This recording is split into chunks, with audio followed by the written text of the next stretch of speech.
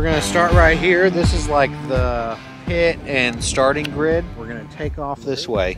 We're gonna be weaving through the field over here and then we'll head off into the woods.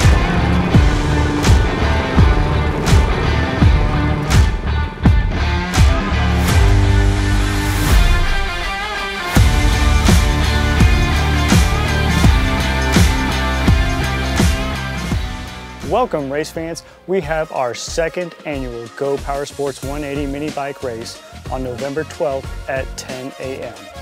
So I'm going to invite you out to the Go Power Sports Ranch, which is located at 538 FM 52 in Graford, Texas. Now this is an endurance race because it's 180 minutes of nonstop adrenaline action. There's going to be some rough terrain. We have three different classes that'll be racing. We have the full suspension mini bikes, the hardtail class, and the junior class. The junior class will start right at 10 a.m. That's going to be a much shorter track for our younger audience.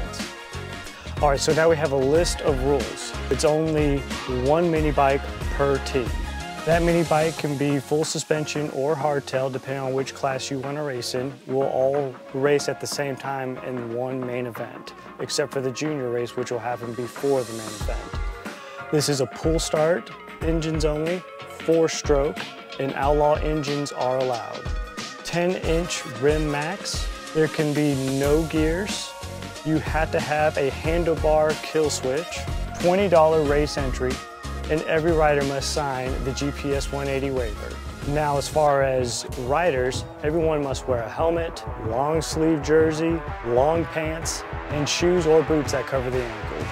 Visors and chest protectors are recommended. So as we go over our terrain, it starts over here in the pits and this is where everyone is going to have to pull start their engine, Le Mans style, hop on their bike and just send it. So we start here at Dragon's Tail. Now Dragon's Tail is a little bit windy, but it's to help get everyone sorted out at the start of the race. Right from Dragon's Tail, we're going into Sherwood Forest.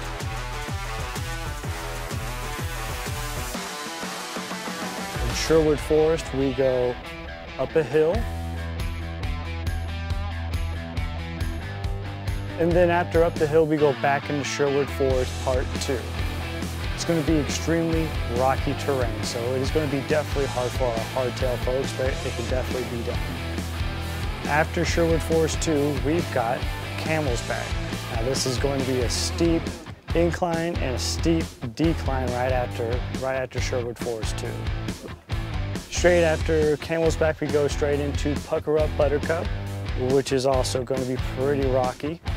From there, we go down the power lines into Power Stretch. And after Power Stretch, we go into Hogland. And it all starts over again. So that concludes our Go Power Sports 180 promo. Got one question for you. Do you have what it takes?